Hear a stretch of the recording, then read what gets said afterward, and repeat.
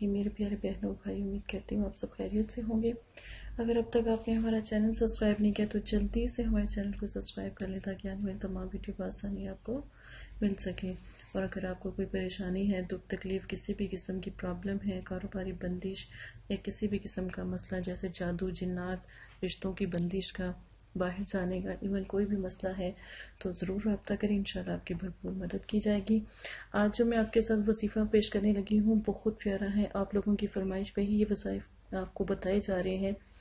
लेकिन इनका गलत इस्तेमाल करना मेरे ने ख्याल के इसके बाद आपको इजाज़त भी मिलेगी और आपका नुकसान भी हो सकता है। इसका कभी भी गलत इस्तेमाल ना करें।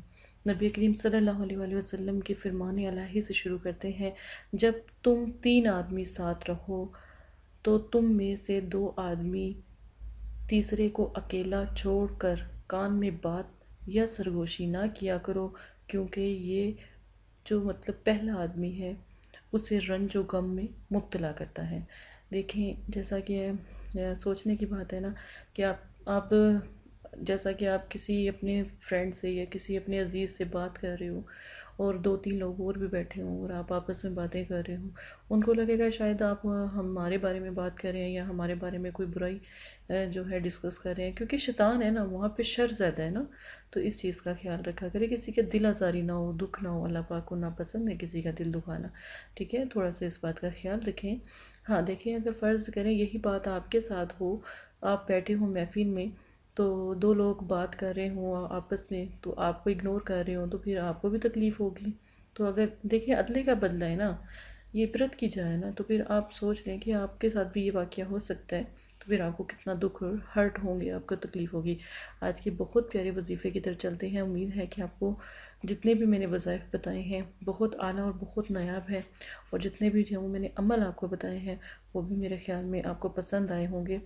किसी के दिल में अपनी मोहब्बत को पैदा करने का ख्वाह वो मियाँ बीवी हो ख्वाह आपका प्यारा हो, अज़ीज़ हो का बहन भाई हो, कोई भी रिश्ता हो तो ये वजीफ़ा आप लाजमन करें, लेकिन इजाज़त ज़रूर लेकर वजीफ़ा करें। सच्चे दिल से आपने ये वजीफ़ा करना है। नीयत पर देखें दुनिया कायम है।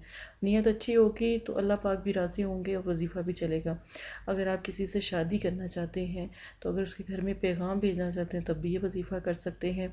कुछ देखें, इस वजीफ़े को करने से पहले कुछ सदका खैरात कर देना बहुत ज़रूरी है। दो नफल आप रकत नफल हाजत के पढ़ लें, ठीक है? और वजीफ़ा जुमेरात और जुमे के दरमियान रात में करें। और या फिर इतवार और पीर की दरमियानी रात में करें। ठीक है, टाइम रोज़ाना इशा की नमाज़ के बाद का करें। ठीक है, तीन तीन दफ़ा अव्वल आखिर दूसरी पढ़ा करें और तीन सौ मरतबा या वदूद का विरद करें।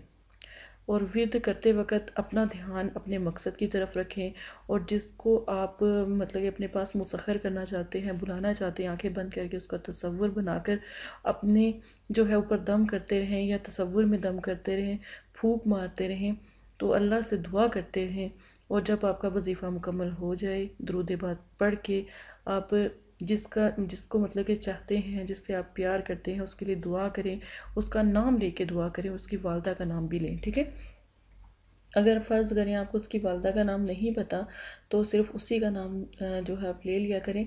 अल्लाह पाक दिलों के भेद को भी जानता है, ठीक है? तो मोहब्बत और प्यार का ये बहुत आला वजीफ़ा आप किसी भी वक्त कर सकते हैं। अगर किसी से शादी का मसला है, तब भी ये वजीफ़ा करें तो उसके घर से रिश्ता भी आएगा और आपकी मुश्किल भी आसान हो जाएगी। सच्चे दिल से, सदके दिल से दुआ मांगे, वजीफ़ा करें। कम से कम तीन दिन से चार दिन तक ये वजीफ़ा लाजिम करें।